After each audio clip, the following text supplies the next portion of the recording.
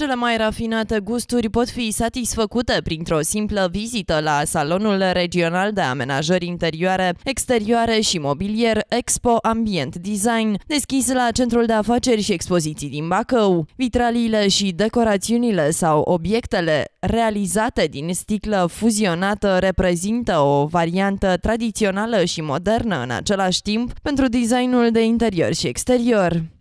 Venim în fața publicului cu uh, ultimele noutăți uh, în ceea ce privește amenajarea cu sticlă a spațiilor, atât de locuințe cât și a spațiilor uh, publice și religioase.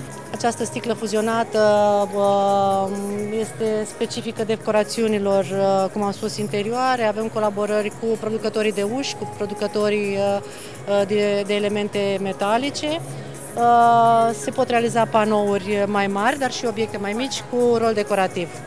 Deși par pretențioase și nepotrivite pentru orice locație, producătorii ne asigură că în casa sau biroul oricărui băcăuan pot fi utilizate vitraliile și obiectele din sticlă. Asta cu atât mai mult cu cât obiectele din sticlă nu sunt realizate în serie, ci doar în sistem unicat.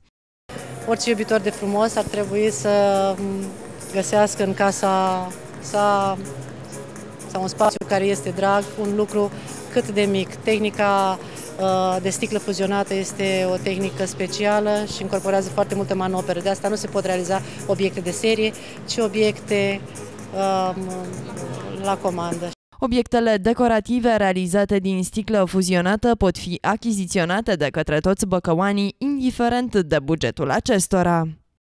Facem uh, uh, deformare la temperaturi foarte înalte, asta înseamnă că putem realiza și obiecte de genul lămpilor, deci lămpi uh, uh, și puteți vedea aici, uh, prin termodeformare s-a obținut acel obiect, uh, bustul de femeie ca și chip uman, care uh, de asemenea poate fi uh, ca și decorațiune de spații publice, Așa. Și obiecte pe care oricine ar dori să facă un cadou uh, deosebit uh, prietenilor sau celor dragi uh, pot achiziționa de la noi obiecte de mai mici dimensiuni și cu siguranță vor aduce o bucurie celor care vor primi aceste cadouri.